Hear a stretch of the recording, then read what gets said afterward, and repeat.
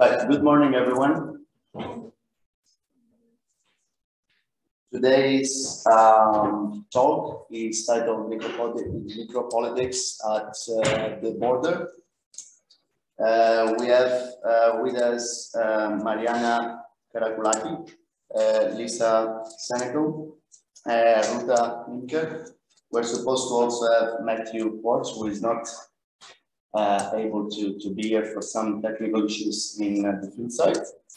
Um, I'm very happy to, to chair this panel because I think that the three presentations will have some very interesting points uh, of interconnections.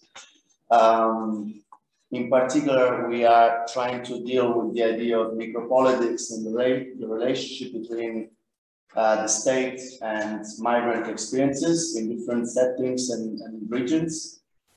Uh, in this sense, uh, asking how does politics uh, turn into necropolitics and uh, what are the methodologies that uh, we can adopt to speak of the dead or for the dead while displaying the violent system which allows, maintains, and reproduces the very conditions in which death can and does uh, take place. Now, very quickly, um, Marianna will uh, lead us through the dark space that opens up once the spectacle of the border is uh, over. Uh, so she will ask, uh, discuss about what happens behind the formal and institutional representation of state presence, a little bit of what we said yesterday as well, and where, where, where is responsibility to be found, and how does politics affect life to become necro-politics. Uh, Lisa will uh, tell us a little bit about the role, importance, and significance of deathnography which is a way of making sense of uh, migrant death. So in her presentation, she will focus on the question of mapping Malta's border regime via the afterlife of the migrants. So writing about, of, and around death, uh, will argue, I think, can become an illuminating method to critically address the challenges and also the limitations of border spaces. While Ruta, finally, will discuss the question of the violence of the state in relation to migrants' experiences of border crossing in both uh, Afghanistan, Iran, and Iran, Turkey. Um, so how are living, moving, and dying bodies treated in en route? And how does the experience of crossing the border tell us something uh, meaningful about the relationship that exists between the state and the people we refer to as, as migrants. Um, so without uh, wasting any like too much time on, on, on, on this, I, I, I, think I will start by uh, quickly introducing uh, Marianna and let uh, the to. Um, so yeah, Marianna is, is currently a part-time PhD researcher at the University of uh, Birmingham, Birmingham. Uh, her thesis position entitled Border Violence Along the Balkan Route, uh, the necropolitics of Fortress Europe, explores refugee experiences of borders, violence, and death through an necropolitical lens. Uh, but Marianna is also an award journalist and a photojournalist who focuses on migration in the Eastern Mediterranean and currently works as the communication manager for Media Diversity Institute. Um, so. Uh, hi, everyone. Thank you for being here this early in the morning. Uh, my presentation is entitled The Political uh, Thanatos, which means death in Greece. So I'm going to look, uh, I'm going to give an overview of uh, the numbers of death in Greece, uh, refugee deaths specifically, then I'm going into a case study at the Evros River at the um, eastern, northern eastern Greece, uh, which is the mainland border with Turkey. And then I'm, uh, I'm going to talk a little bit about uh, two concepts that I've been experimenting, if not playing lately, fragile realities and how those fragile realities lead to political thanatos. so what's in a number? Uh, documenting death, uh, refugee deaths in Greece is not the easiest thing. Uh, and this is because uh, Greece does not keep any records about refugee deaths. And uh, the data that we have either come from hospitals, and these hospitals are in, in the island, specifically Lesbos keeps a record. And um, the hospital of Alexandroupoli in northern Greece keeps a record as well.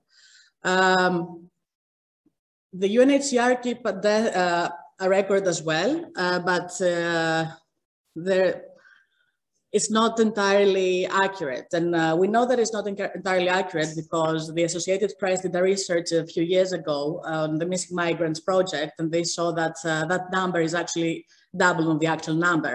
So in order to actually find uh, the numbers of deaths, uh, we need to look at these records, of course, but then we have to talk to people who were present during death at the border. Uh, another issue that uh, happens in Greece is that we're not entirely sure how to define border death. So for example, in 2015, a migrant died on, a, on the, was electrocuted in, in uh, Idomeni, the Greek-Macedonian border. Is this considered a border death or is it considered a, um, an accident? So Greece does not take it as a border death, it takes it as an accident. So these numbers are not documented as border deaths. Uh, so from 1990 until uh, 2013, we had 843 deaths, and this is this has been documented by the Human Cost of Border Control Project. And um, the way that they documented those numbers is by looking only at official numbers, and they did not look at the Turkish side of the border.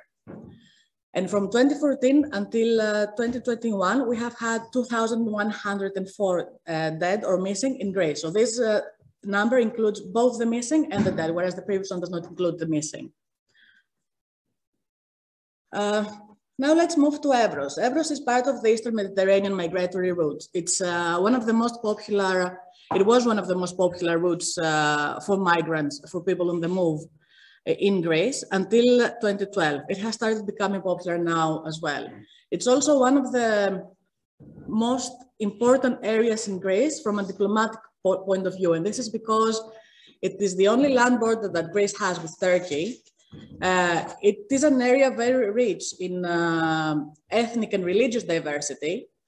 Uh, and it's an area that is uh, constantly contested by Turkey, especially when uh, uh, disagreements rise, like in this period, for example. Um, the river is shared between three countries, Bulgaria, Turkey, and Greece. But here I'm only looking at uh, uh, Turkey and Greece. It, it is shared equally as defined by the law of the sea. Uh, but Turkey has a 12 kilometer stretch and that stretch you can see it uh, with that arrow there. And this is important because it's also where the only fence, the first fence that was built in Europe, I think, uh, it was built there in 2012. Uh, and it, it, was built specifically to prevent uh, migrant crossings. Um, it is an area extremely beautiful, but it is an area full of death. Until 2010, there were anti-personnel landmines um, that were implanted after the Second World War. And in 1974, uh, when Turkey invaded Cyprus, uh, the Greek uh, government, the dictatorship that we had at the time, implanted 25,000 more anti-personnel and anti-tank um, um, mines. Uh, and I'm mentioning this specifically but it is quite, because it is quite important when it comes to migrant deaths, and I will go into it a bit uh, later on. Um, and as I mentioned, it is one of the most commonly used uh, uh routes. It was until uh, 2012, and it's becoming popular now as well. Um, this is the border fence that uh, separates Greece and Turkey. Um, and you can see the, the stretch of land, uh, well, kind of see the stretch of land behind this. And it says, uh, be careful, uh, borderline, Greek-Turkish borders. Uh, as I mentioned, Evros is full of death. And uh, I visited the area a few times, and for me, it's the most militarized and scariest places that I've seen. I haven't been able to go next to the river because once you cross uh, the field, you get arrested. And if you go as a journalist, then uh, you usually have a crew with you, so you, you will be safe. The most common uh, causes of death for people on the move are hypothermia, drowning, landmines until 2010, and traffic accidents. Even though the landmines were quite, according to the Greek military, they were well uh, guarded, uh, people, uh, when they were moving, they would usually lose their way and they would find themselves themselves there. So they will step on a landmine and they will explode. And we have had uh, uh, the coroner of uh, Alexandroupolis, for example, he was explaining how they were they would they wouldn't find a full body. Um, when it comes to hypothermia, along with drowning, they're the two most popular causes of death. And this happens because, if you have heard, Greece is quite uh, okay with illegal pushbacks. So for people to avoid being detected by the military or, or by the police in the area, they usually hide around, um, once they, they cross, they hide uh, around the riverbanks. Uh, if they stay there along, uh, throughout the night, they will freeze to death. So the next morning they will be found um, uh, dead by hypothermia. Uh, when it comes to drowning, even though the, the stretch of the river is quite short, it's uh, quite muddy. So according to the coroner, the water drags you down. And when people cross, they usually wear several layers of clothes. And this means these, uh, these, these layers work as um, extra weight. So they, they drag you down and these bodies are, sometimes they're not found uh, anywhere. Uh, and traffic accidents, um, when people walk trying to find their way away from the military and the border police, they use different uh, routes. Uh, sometimes they find themselves around the train line, so they're, being hit by trains. Or sometimes when they uh, live with smugglers who are in the area, they're being chased by the police, then they crash, and then they die. These deaths are not considered border deaths by Greece, so I'm not sure if they are documented as such. Um, in this photo, you can see this is the coroner of Alexandroupolis, and he has done extremely uh, important work in, uh, in academia as well when it comes to forensics and uh, migration. Um, the number of deaths has increased so much that the International uh, uh, Committee of the Red Cross had to give extra fridges that, that are kept outside of uh, his lab so that they keep the dead. And um, at that time, there were around 20 bodies inside the fridges. Uh, apologies if the, these pictures are distressing, by the way. Um, so the examination at the coroner follows international um, forensic standards. And the examination takes place so that uh, they can um, collect some data about the dead. Uh, those standards include uh, sex, estimated age, detailed anthropometric characteristics, um, for example, height, weight, and uh, similar characteristics. Anatomical peculiarities, for example, there was a case of someone who had uh, a lump on his ear, and this way they were able to identify who that person was. Uh, personal belongings and clothing, if they are, if they are in a good state. Uh, the location of death that is uh, usually given by the authorities, uh, time when the body was found, an estimated time of death. And when it comes to the estimated time of death, usually the people who are traveling with the person who perished help with uh, the estimation. Um, the condition of the body remains, cause of death, and DNA sampling. And when it comes to DNA sampling, uh, these data are kept and they're being sent to the labs in Athens, where they are kept for uh, reasons of uh, further dedication, identification by their families later on. And if it's uh, uh, possible, they keep dental evidence, fingerprinting, and post-mortem computerized tomography of decomposed remains. And um, this usually happens with uh, victims of drowning or people who are found quite later um, on when they're in the st state of the, um, decomposition. Uh, specifically, uh, the coroner of Alexandroupolis, his name is Pavlos Pavlidis, by the way, um, he, keep, he keeps people's personal items. Uh, he keeps records of people's tattoos, uh, which help with identification. And uh, he keeps, he gives every person, they, he gives them a specific uh, identification number, and this number is usually written on uh, the people's graves later on. And contrary to what happens in Greece in general, he keeps the body of a migrant for 90 days. Uh, Greek law says that it has to be kept 10 days. If that body has not been claimed by anyone, they, it usually ends up in, um, uh, in the labs of university hospitals.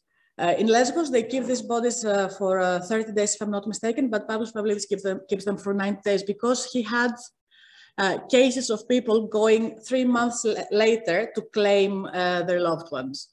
And um, once this process takes place, then there is a transnational collaboration with embassies uh, if they manage to establish someone's nationality and international organizations. Uh, these are the items that uh, he keeps, for example.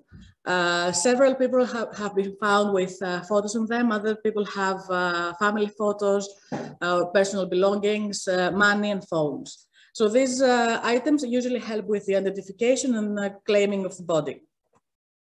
Um, this is quite interesting to me, which I actually found quite recently. Um, there is no law that regulates death in Greece. Death is regulated by the laws that we have that regulate life.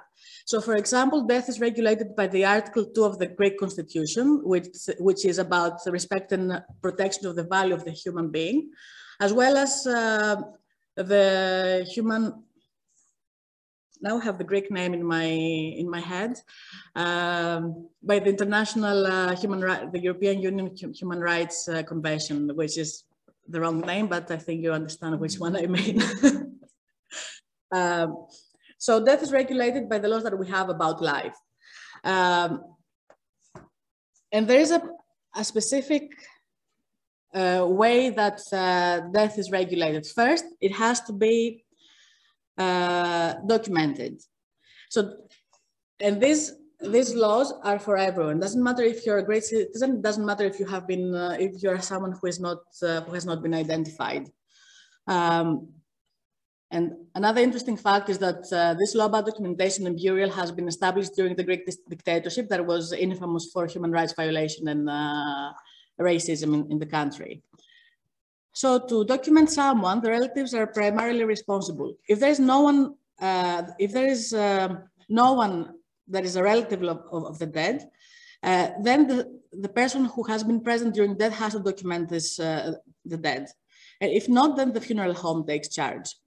The person who documents death needs to provide medical certificate of the cause of death issued by a doctor. In the case of Evros, it happens by the coroner. Um, if autopsy is not possible, or due to, or for example, for religious is, uh, issues, um, the, the, the, there cannot be any form of uh, uh, medical examination on the body, uh, then the public prosecutor has to issue an order in order to document the dead. Uh, one of the most interesting elements of this is that uh, the person who documents the death needs to submit their identification document as well as the identification document of the deceased. And uh, at the same time, they have to provide the tax identification number as well as the social security number, which in the case of uh, people who perish on the borders is not really possible because usually they don't have any identification uh, documents. Uh, from uh, 2014 to 2016, the number of deaths were so high in Greece that there was a huge problem uh, of burial. Those who are responsible for the burial of the dead in Greece are um, the municipalities. So basically, there's no place to uh, bury the dead, and the dead of the Evros River are being buried on, uh, on, on, the Muslim cemeteries of the region, as well as the Orthodox cemeteries if they're in different regions, but outside of the cemetery area. So I only have five minutes, but I don't think I will need more for that. Um, so what I mean about fragile realities, I think that uh, people who who walk along the borders live in fragile realities, and these fragile realities take place during migratory journeys.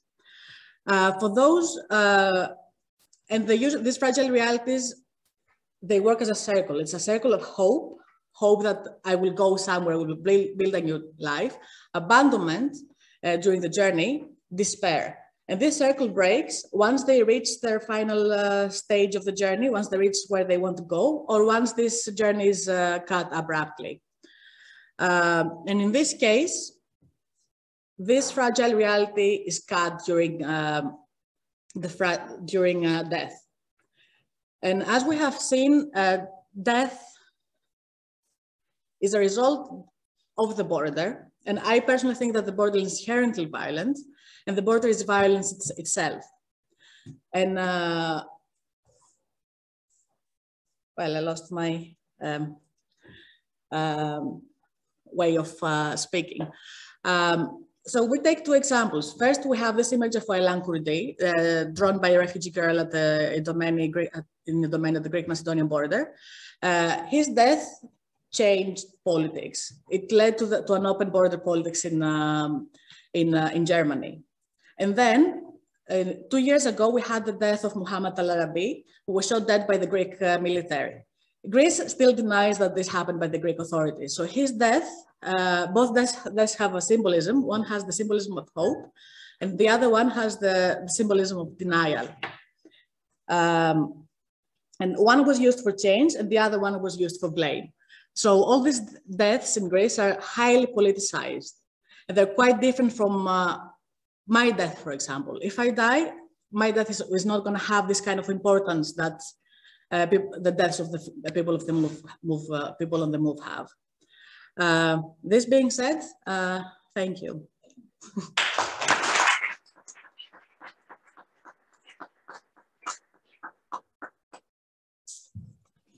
Very much.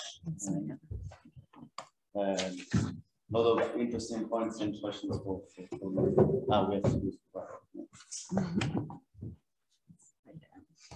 So um, uh, Lisa, uh, who is to present now instead, is a, a, PhD candidate in migrations at the Institute of Social Sciences at UNIS Her research converges around the intersection of race, class, and uh, migratory spaces with the concepts of non-citizenship, hierarchies, and mobility justice as focal uh, points.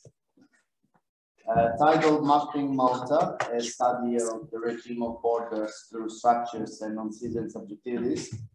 Our thesis aims to disentangle constructed aspects of the regime of borders in Malta from those experienced by the non-citizens who engage them. Uh, that the floor is, is yours. Thank you. I'm noticing the formatting is a bit off, so just roll with it. I will as well. Um, so it was by turning over and over the saying, death is the great equalizer, that deathnography began. I was clear I wanted one of the angles of my dissertation to address death in migratory contexts, and I knew I'd focus on Malta but it wasn't until I got stuck on this adage that the question would follow. What if the same kinds of inequalities experienced during life in Malta by border crossers who cross extra legally were reproduced in death?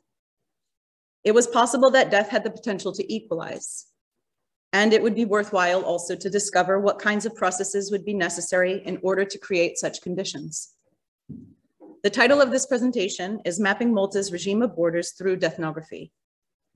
I'll begin by laying out the concept and framework of regime of borders that I'm working from, and I'll conclude with a clarification of what deathnography is and its limitations.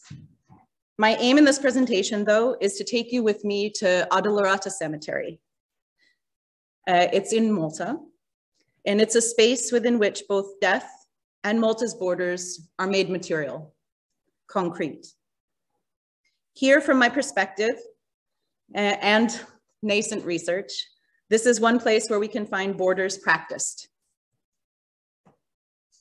Three questions guide this presentation. First, what comprises Malta's regime of borders?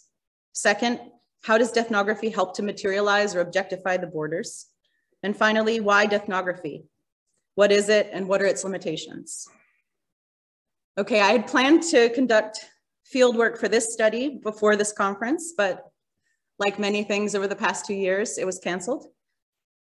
I went back to data collection from my preliminary uh, a fieldwork trip in July and August of last year, and I'll present some data that I've also been able to collect remotely since then.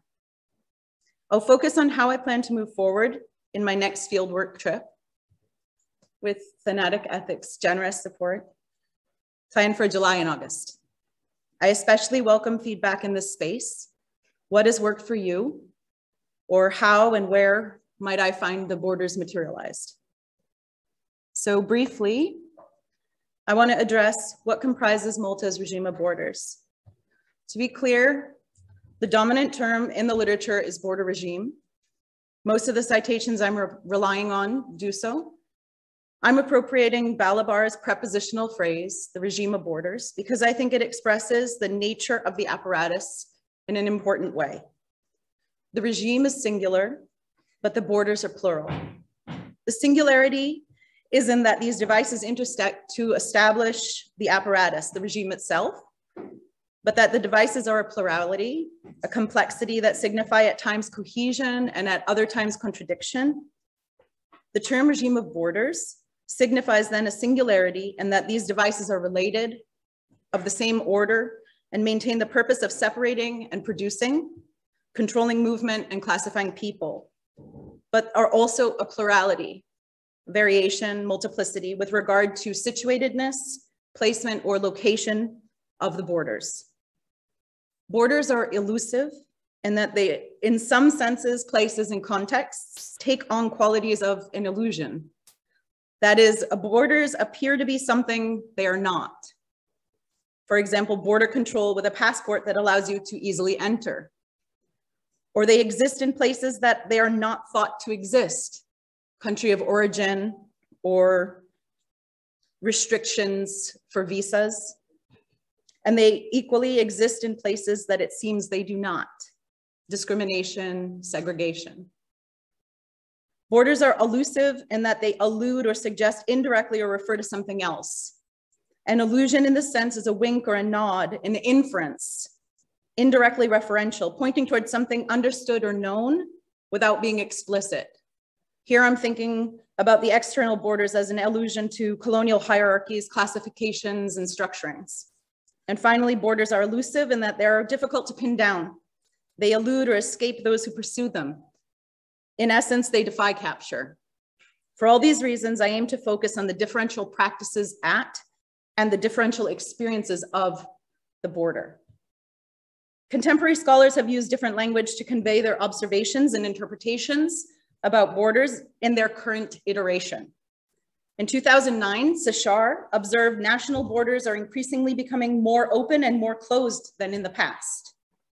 More recently, she's posited the concept of the shifting border, which is a legal wall, quote, that variably shrinks, expands, disappears, and reappears across space and time in the service and managed and selective migration and mobility regimes. In 2009, Balibar dubbed the function of the internal and external borders of the EU as a way of establishing and maintaining a European apartheid. In 2015, Cresswell designated the concept geographies of citizenship to explain the differential experiences of the new global elite and the shadow citizens. In 2018, Mavelli observed this, the selective openness and closure of borders in accordance with a rewriting of the principles of citizenship, such as reciprocity, equality, and solidarity in economic terms. Note, not just a replacement of those principles with economic ones. So through an ethnographic approach that disarticulates the institutional, physical, conceptual, and the experiential arms of the border, this project challenges a strict territorial or relational approach. Through this disarticulation, it becomes possible to mine, as Paasi suggests, practices, symbols, realities, processes, institutions, networks, as well as the subjective experiences of distinct non-citizens as units of analysis. This approach makes it possible to test empirically some of those theoretical proposals just mentioned, but also the claims of such authors as Mbembe, Harton Negri, Monson Lloyd, and De Genova, as well as again Balibar, that certain bodies actually constitute the borders of Europe.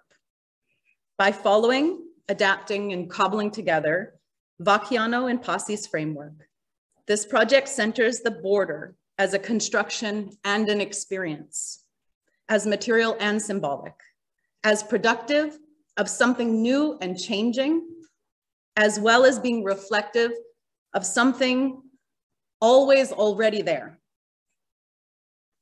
Now, let's turn to materializing the border. In August 2021, I visited Addolorata Cemetery, a place that I argue constitutes Malta's institutional borders as a space grounded in admittedly very confusing bureaucratic procedures and its conceptual borders as a representation and manifestation of the often internalized categories which influence decisions about where certain bodies belong. One of the greatest challenges to navigate in this border space is the divorce system of record keeping. Upon arriving at the cemetery, I established a contact who had been working there for several years. I presumed there would be bodies of migrants who had died crossing, been recovered, and then buried in the cemetery. So I asked where these bodies were located. I was handed a map, similar to this one. And okay, now I lost my place, sorry. I was handed a map of the cemetery and took notes as I was uh, relayed information. This contact seemed really reluctant to talk, but also certain that there were currently no bodies of migrants in the cemetery, assuring me, this is a quote, that about five years ago, there were about 35 to 40 bodies who, sorry, migrants who died in the Mediterranean and were buried here. She, but this, this person told me that by law, those bodies only need to stay for two years before their bones are placed in a separate place within the cemetery, and that there are currently no bodies of migrants buried within the cemetery.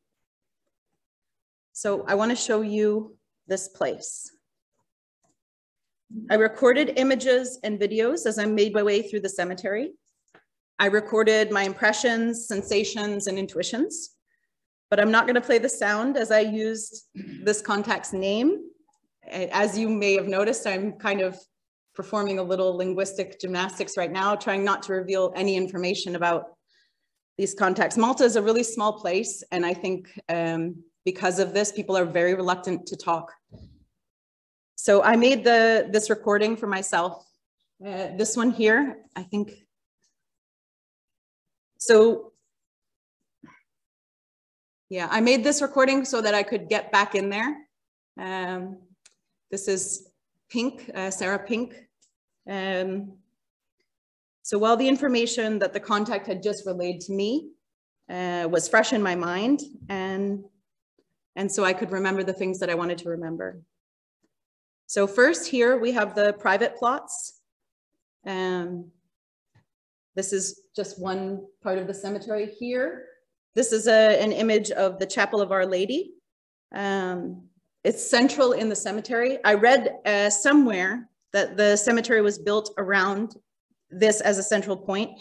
It seems to me that this is so, but I, I need to still confirm this.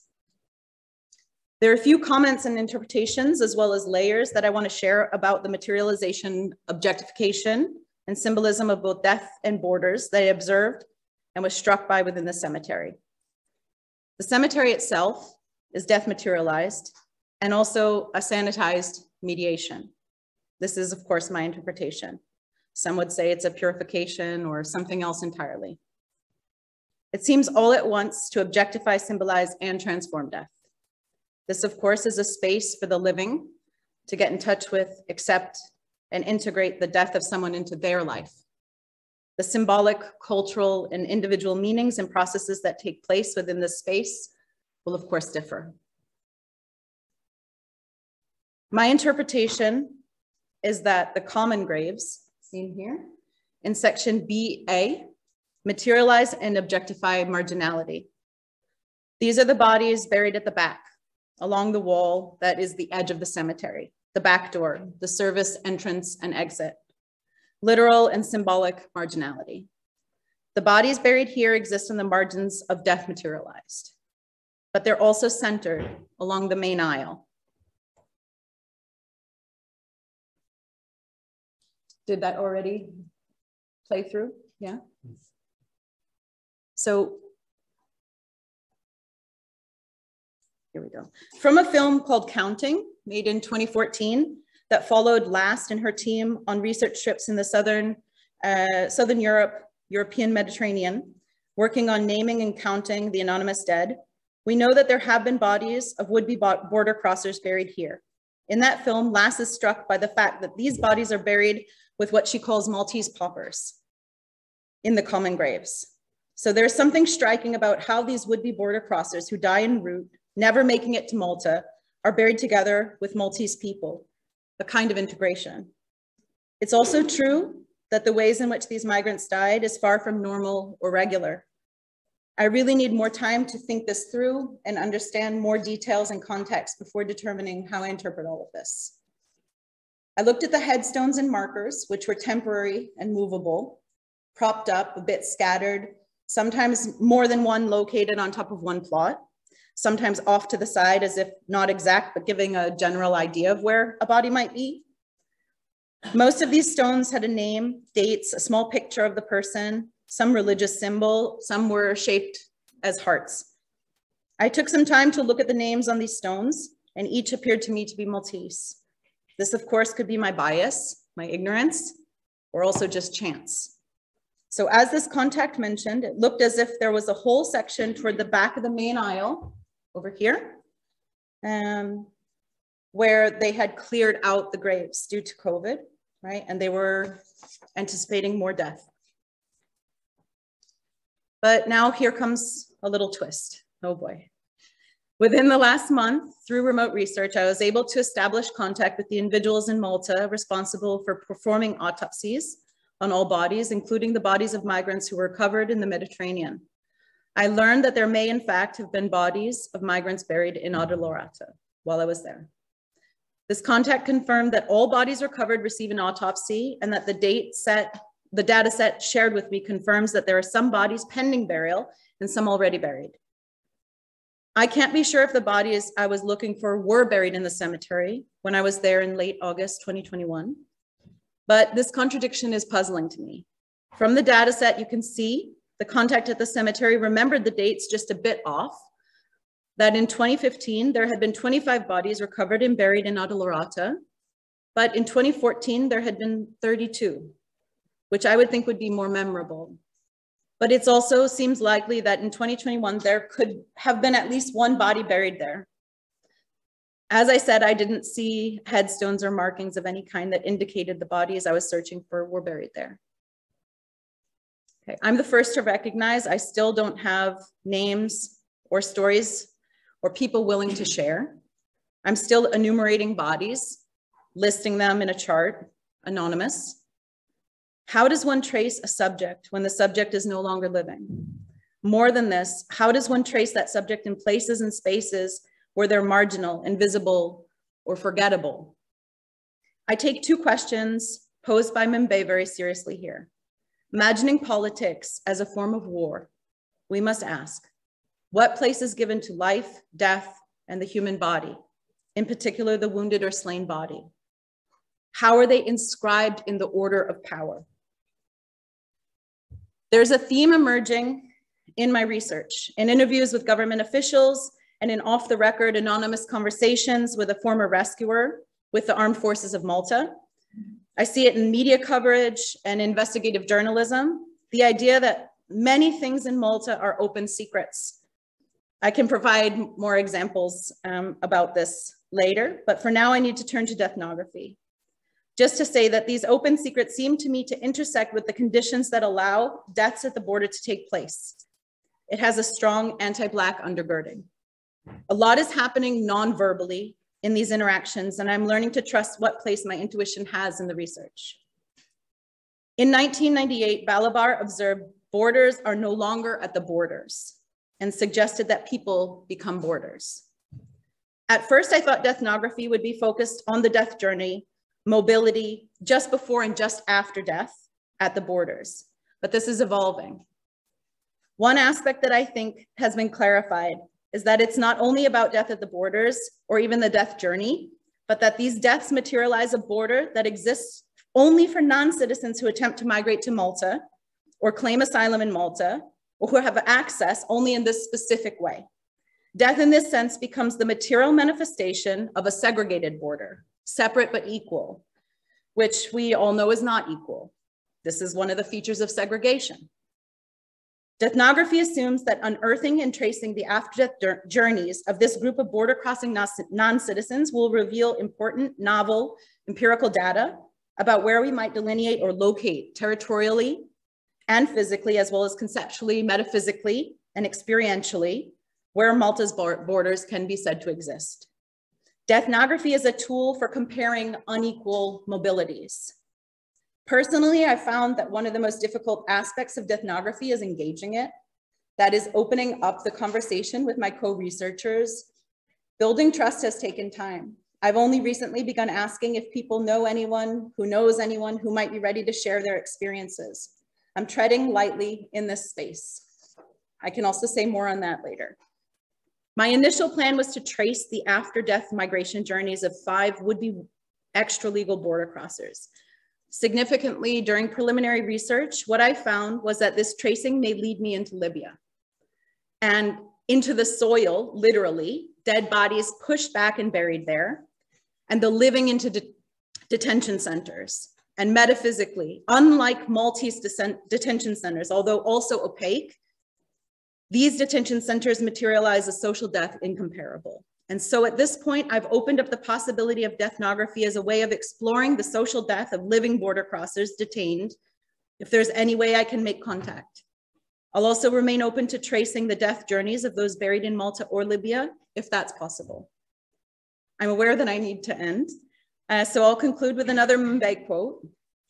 In reality, it is the body of the African, of every African taken individually, and of all Africans as a racial class that constitutes today the borders of Europe. This new type of human body is not only the skin body and the abject body of epidermal racism, that of segregation, it's also the border body, which traces the limit between those who are us and those who are not, and whom one can maltreat with impunity. At this point in the evolution of deathnography, the goal is to follow the subjectivity of the border body, locate that body in time and place, open up the space of what we can know by engaging the migratory worlds of those border crossers through their own words if living, and if not, through the stories and accounts of family, friends, loved ones, and fellow travelers.